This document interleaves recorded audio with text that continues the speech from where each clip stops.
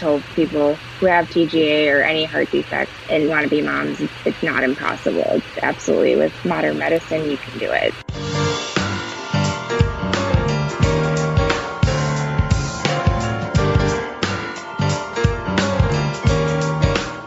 Welcome to Heart to Heart with Anna. I am Anna Jaworski and the host of your program.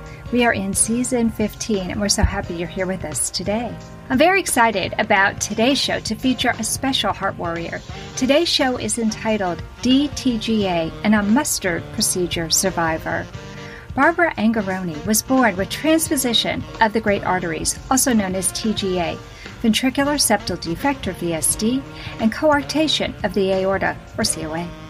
Her mother did not know about the defect. Therefore, she was born a blue baby and immediately rushed away for treatment.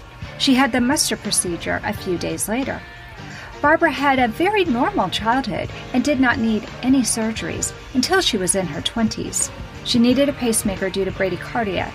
At that point in her life, she wondered if she would experience the joys of motherhood. Barbara's doctors seemed confident that she would be able to have children. In 2017, she gave birth to a healthy baby boy. However, she soon went into heart failure and had to return to the hospital for treatment. This was the biggest health scare she ever had to deal with. Welcome to Heart to Heart with Anna Barbara Angarone. Thank you for having me. Barbara, I haven't met many people who have had the mustard procedure. I'm so happy you're here to talk with us about this today. Now, you said you had that operation as an infant, so I'm sure you don't remember it, but I'm sure you do remember going into heart failure. Can you walk us through what happened? Uh, absolutely. I was induced on a Wednesday and I didn't have my baby until Friday. So it was 33 oh. long hours of labor. And they said that probably contributed to the heart failure. So I had him on a Friday. I went home on a Sunday from the hospital. And I just noticed Monday evening when I was trying to rest, my ankles were huge and my ankles never even got that big during my pregnancy. I was just like, okay, that's really weird. And then when I would try to lay down, I felt a heaviness in my chest. I'm like, this feels like fluid. I've never experienced drowning before, but it felt like water or something heavy in my chest. I was not in pain. I knew something was significantly wrong. Right. I shouldn't have huge ankles like this after giving birth. I know your heart has to compensate after giving birth too, but I felt off. I did go to the emergency room and I had this four day old baby, so he had to find his grandma to babysit. In the hospital, they never really met someone like me with my heart defect. The doctor was like, You should probably go back to where you gave birth because they know about you. You were just there. Your cardiologist is there. We're going to have you go to that hospital. So I was taken by ambulance, which I didn't think was necessary. And at the time, I should have been like, no, I don't need an ambulance. My husband could have driven me. But I was taken by ambulance back to the hospital where I gave birth and admitted. And I met my husband and the baby there. They were in a room with me and they started diuretics and everything for me. Now, was this in the same town or was this quite a distance apart? I gave birth in downtown Chicago and I lived out in the western suburbs. It was a 40 minute drive wasn't too bad. Okay. Okay. So you got back to the hospital where you had given yeah. birth. Now, why didn't you go to that hospital to begin with? Because it was so far away? Yeah, I thought that I could go to this emergency room. The doctor would be like, okay, this is what's wrong. Let's solve this really quick and be on your way. I didn't realize that they were like, no, you're very medically complex. You need to go back to where they're familiar with you, especially because you gave birth.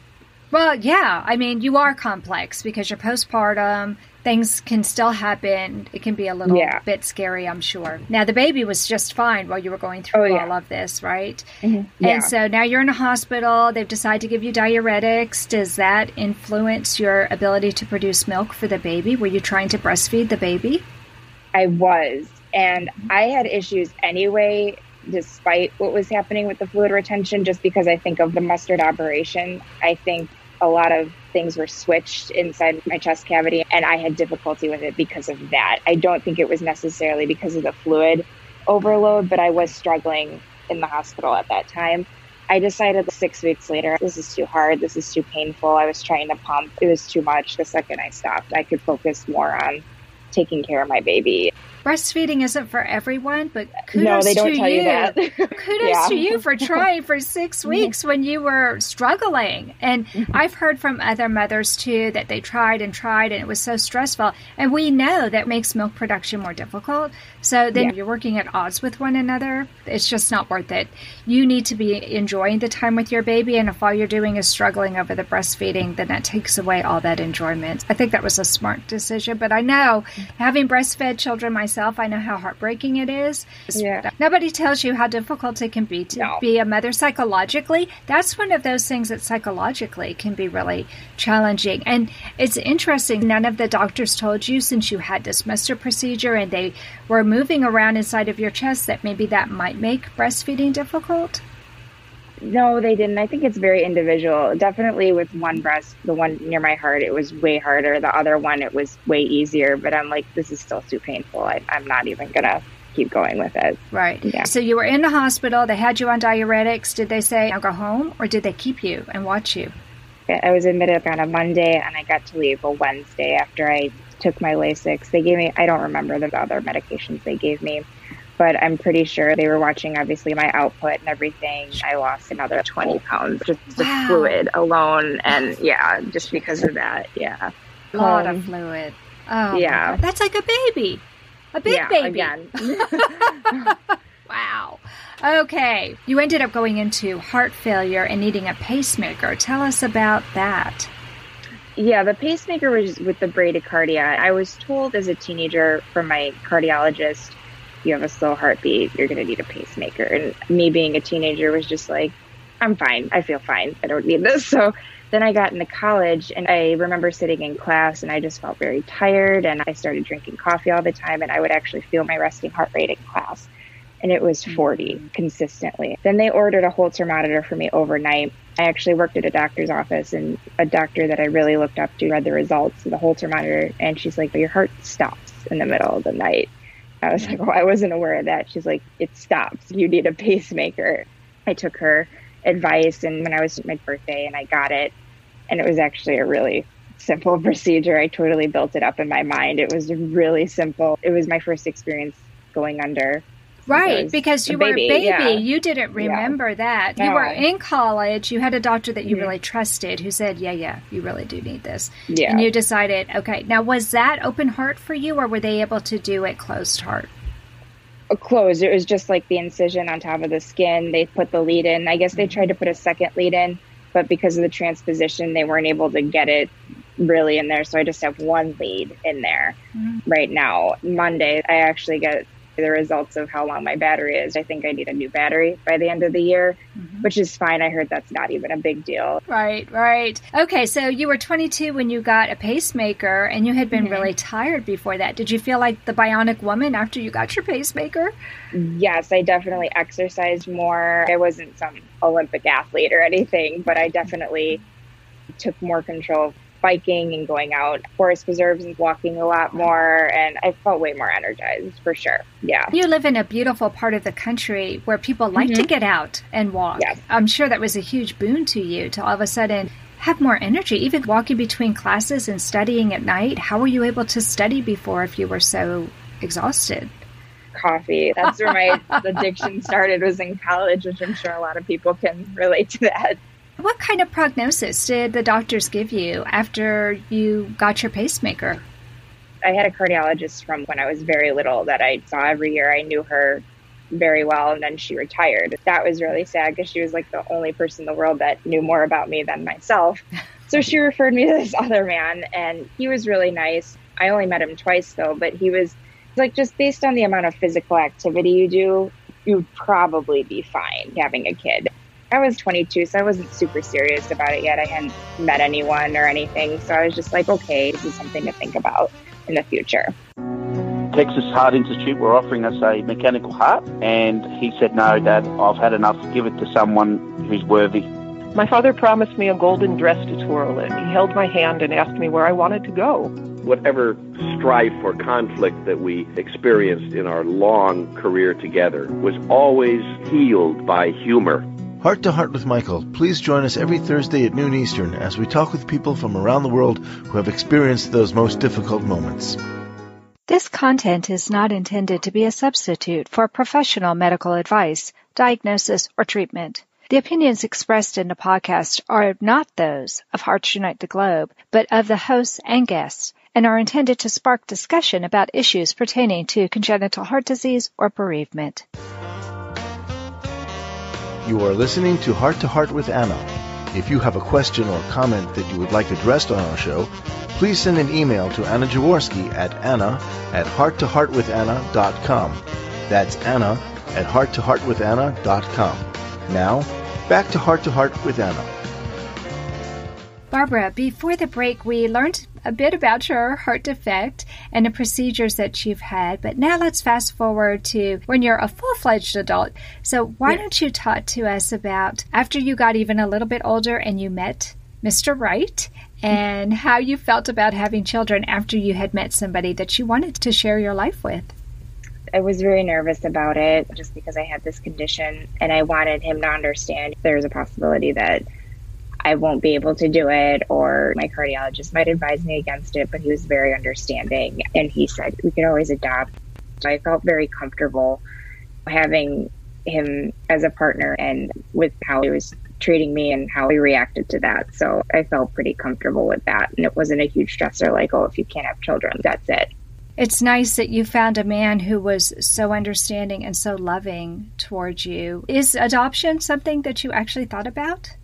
A, a little bit. It would have been thought about more had I not conceived right away. I thought about it a little bit, but I wanted to try after getting the go ahead from my doctor that I should probably be okay. I put adoption out of my mind at that point. I wanted to at least see what I was capable of before I looked into that further. Now, did you know anybody else who was able to conceive who had a heart defect similar to you? I did not, but with Facebook and joining different congenital heart defect groups, I was able to come across moms with TGA who obviously successfully gave birth. One I saw had four kids. So wow. I'm like, this is doable. This isn't something that is totally out of my reach. Mm-hmm. That had to be inspiring to you to meet other people yes. who had the same heart defect. And had they also had the mustard? Some did, yes, because I'm in a group specifically for TGA and mustard and Senning, and yes, yeah. yeah. Okay. In your bio, we learned that you successfully carried one son to term. Can you tell us about that first pregnancy? How everybody felt? How did your parents feel? How did your husband feel? And how did you feel? Everyone was very excited. On my husband's side, especially, it was going to be the first grandchild on that side. For my mom, it was going to be her third, but there's a big gap between my brother and I. So there's a big age gap between my niece and my baby. So it was it's still exciting on both ends. And I felt good that whole pregnancy. In the summer, two months before I gave birth, I was able to walk 20,000 steps one day, like no sweat. It was like, I give birth. This should be fine. absolutely. So. Absolutely. Now, had your mother been told anything when you were a child as far as whether or not you should be able to carry a baby to term? No, and she did tell me if somebody had told me, I would have told you by this point already. Mm-hmm. Absolutely. Did you have the same cardiologist all through this that you had as a little girl growing up? I did not. Oh, she retired when I became a young adult. I think the last interaction I had with her was when she suggested the pacemaker. I got the pacemaker from a cardiac surgeon. And then I moved on to a new cardiologist, but he was a pediatric cardiologist. And since I was thinking about having children, I'm like, I probably should see someone where I'm not in the waiting room with a jungle theme around me if I want to have kids. So I was fortunate enough to ask my cousin, he's an infectious disease doctor, who he recommended as far as cardiology goes. I found a woman who worked with women with heart defects, who was a cardiologist, and then she worked with their maternal fetal medicine team, the OB team, and they work closely together and monitor patients. Mm-hmm. So, were you considered a high risk pregnancy? Yeah, absolutely, yes. Mm-hmm. Now, did they check the baby out while you were pregnant? Yes, at 20 weeks, they looked at his heart with a fetal echo and they determined there were no glaring issues, but they did say little holes are not detected sometimes till a stethoscope is actually put to their chest after they're born or they get an echo. But more than likely, they're not. He's going to have an echo when he's born just to make sure. Right, right. What we didn't say in your bio is that you've had a second child. What's really remarkable about the second child is that you had it during COVID. So, talk to us about what this experience was like giving birth during COVID. It was terrifying. When I found out I was pregnant, I was elated. I was happy I was going to have a sibling for my oldest. But not only COVID was happening, but then I found out this baby was breech and that I would have to have a C section if they couldn't turn him, which I was scheduled for. I had a procedure where they attempted to turn him, which is called a version. And that was the most pain I'd probably ever experienced in my life. And some women it works right away, some women it doesn't. It's 50 50. I knew going into it that it would be 50 50 but that procedure was the height of COVID in our city. Everyone had masks on. All these people were pushing out my stomach, like oh, seven wow. people in the room with masks on. That was stressful. And I knew going into it, it was 50 50, and it did not work. He didn't turn very stubborn baby. And they're like, you're going to have to have a C section. And that was something I knew with my first pregnancy was a last resort. Again, I looked on Facebook. I said, Are there any mustards who've had C sections? a lot of women replied, actually, the doctor thought it would be easier on my heart to have a C section. I preferred I had one and everything was fine. So that helped me a lot. I was way more concerned about my C section at that point than I was with COVID. I mean, it was still scary. I couldn't bring my husband to the doctor. I had to go in, go out, wear a mask. And this was a huge hospital where I knew there were COVID patients walking in. I had to have my temperature taken. I had to have the nasal swab before having the version because it was a oh. hospital procedure. Yeah, oh. I was oh. crying with that one. Oh and then I had to have it again before my scheduled C section just to make sure I tested negative for COVID. Wow. Now, how long was this labor? Since it was a planned C section, it was not long. It was literally come to the hospital at 11 o'clock, get you prepped and everything. This is what's going to happen. The doctor, the OB came in. She kind of felt my stomach. She's like, you know, he's in a better position. We're going to try a version again. We want you to have this vaginal birth if we can help it. We're prepared for the C section. We know what to do. Let's try this. He's in a better position. So they lay me down on the C section table. They try it, didn't take. They're like, all right, we're doing the C section. I'm like, yeah, you might as well. I'm glad you guys tried. I talked to my husband the whole C-section. It was like having a conversation with someone and just being. So yeah, you weren't was, totally knocked out or anything. No, oh no, yeah, no. Ah. I was quite awake, and I remember every minute of it. And I remember seeing him for the first time, and this wave of relief over me. I was like, oh my god, this is done. He's here. but the one thing that did upset me was I found out a week before I had the procedure, the C-section, that because of what happened with the heart failure that I had to be put on a cardiac floor after I gave birth to monitor my heart. And they're like, because of COVID, your baby cannot leave the birthing floor. I was like, I'm not going to be with my baby for the first 24 hours of his life. Oh my God, he's not going to know who I am. I was upset. And I'm like, you know what? If this is the worst thing that happens to you right now during this whole experience, fine. Maybe I can get some sleep or something. Let my husband stay in a room with him though for a night, and then I was able to rejoin them the next day. Hi, my name is Jamie Alcroft, and I just published my new book, The Tin Man Diaries. It's an amazing story of my sudden change of heart as I went through a heart and liver transplant. I can think of no better way to read the Tin Man Diaries than to cuddle up in your favorite Hearts Unite the Globe sweatshirt and your favorite hot beverage, of course, in your Hearts Unite the Globe mug, both of which are available at the Hug Podcast Network online store. Or visit heartsunitetheglobe.org.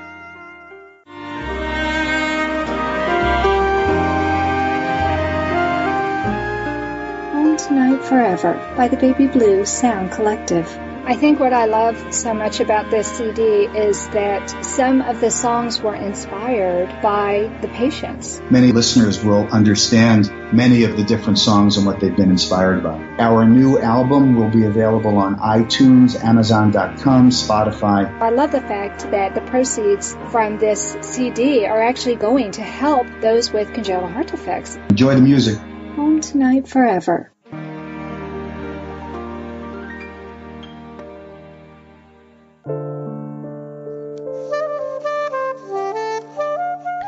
Heart to Heart with Anna is a presentation of Hearts Unite the Globe and is part of the Hug Podcast Network.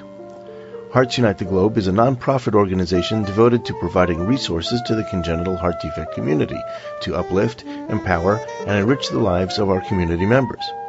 If you would like access to free resources pertaining to the CHD community, please visit our website at www.congenitalheartdefects.com for information about CHD, the hospitals that treat children with CHD, summer camps for CHD survivors, and much, much more. Barbara, before the break, we were talking about your ability to have two healthy babies, which is really exciting. Giving birth and dealing with pregnancy is very different than dealing with a toddler. So tell me about how you're doing today with a toddler and a newborn baby. We were talking before, and you said that the babies are three years apart. So Yeah. you've got a very active toddler. He's very active. He doesn't take naps anymore. I mean, he could take naps. He'd just be up till 11 at night. So I decided to just make that switch. I'd rather put you to bed early than deal with that. It got easier once my newborn schedule kind of is a little more predictable. So mm-hmm. I'm able to kind of figure out what our daily routine is a lot better.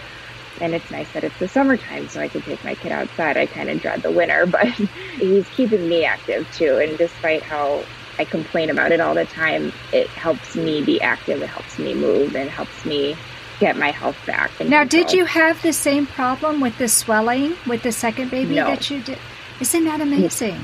They told me every OB appointment we knew what happened with you last time. It wasn't a surprise for what you have, your heart condition, but we are prepared to make sure it does not happen this time because we can anticipate it. And they did amazing. The anesthesiology team, especially, mm-hmm. They were really the forefront of that and making sure that I did not have the fluid retention and the fact that they put me on that cardiac floor.